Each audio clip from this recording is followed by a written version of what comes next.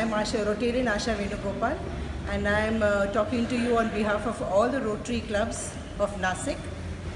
We have decided that we will be going to the Police Commissioner's office to tie Rakhis because finally one thread for your protection is what we believe in and we believe in uh, we, that we should felicitate the police who work so hard to take care of us so that we can roam around the city without any fear.